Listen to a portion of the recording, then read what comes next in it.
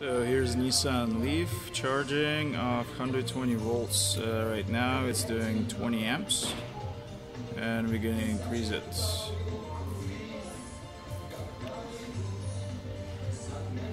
You can see we're uh, using the remote here JuiceBox remotes to increase the current.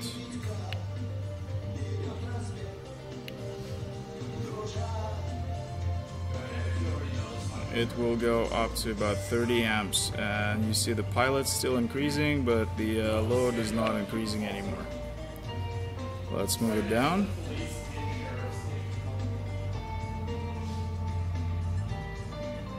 We're decreasing pilot now by the uh, JuiceBox remote. And you can see the leaf is following the pilot down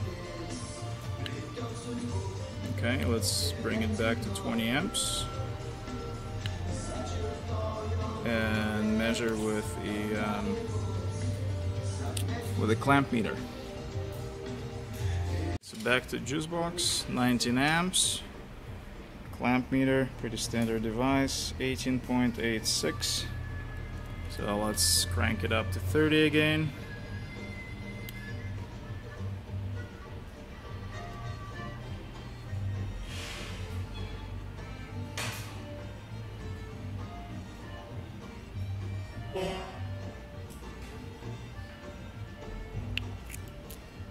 There you go, 30 amps.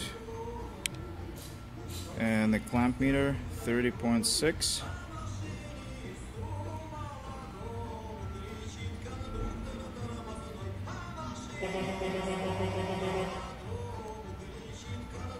And let's measure voltage as well.